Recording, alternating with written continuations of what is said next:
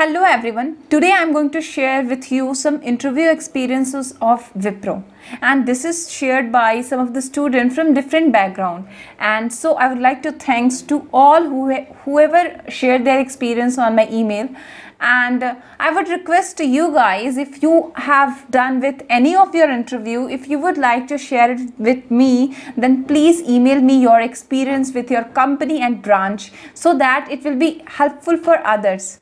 Now let's get started with a Wipro interview.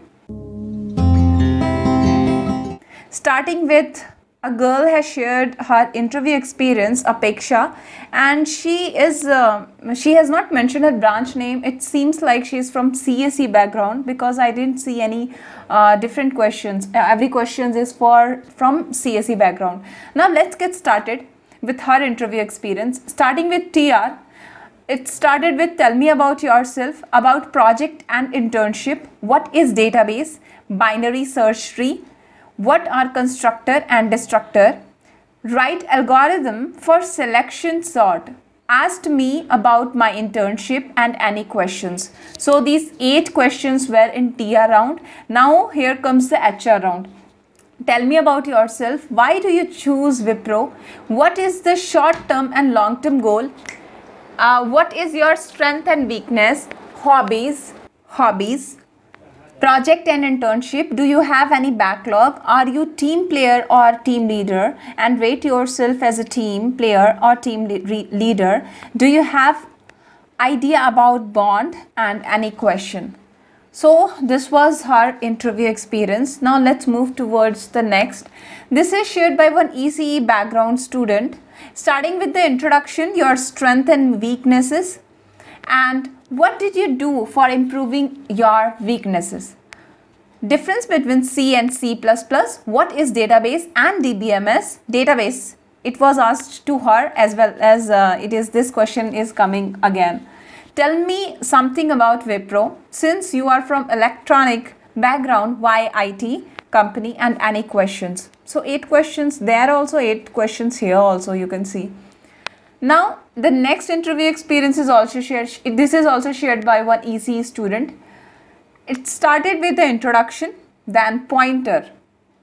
What data type int hold uh, negative value, 2D array, how to pop out the middle element in 2D array, formal parameter, virtual function what did not uh, which did not answer i told will definitely learn uh, after interview okay okay sorry I got confused. Okay, virtual functions, but he, he couldn't answer that. So he said like uh, he will be uh, learning it after the interview.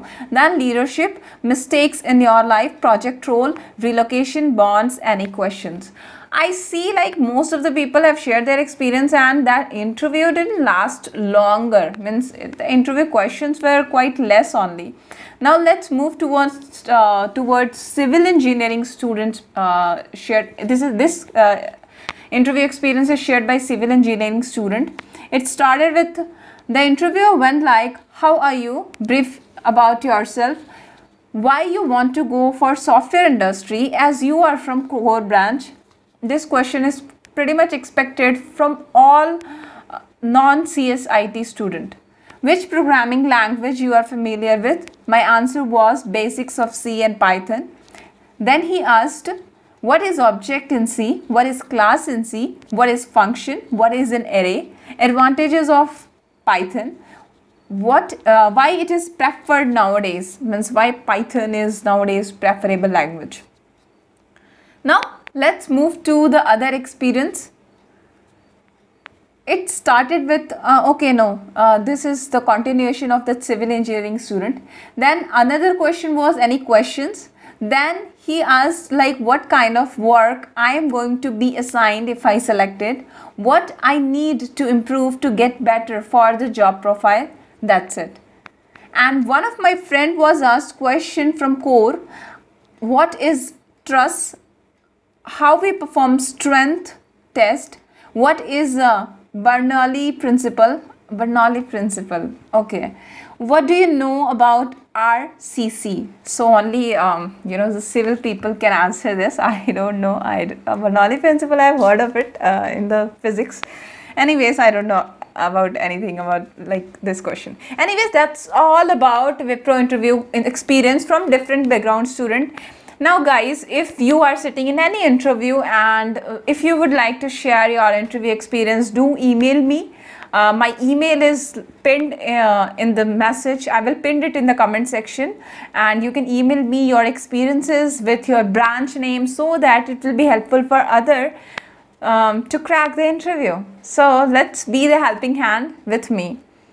Hope this video was informative to you. If it was informative to you, don't forget to press thumbs up and subscribe to my channel if you haven't subscribed it yet. Thank you guys. Thank you for watching.